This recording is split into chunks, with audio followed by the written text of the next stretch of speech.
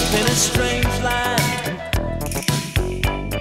one of forty feet. I see for the first time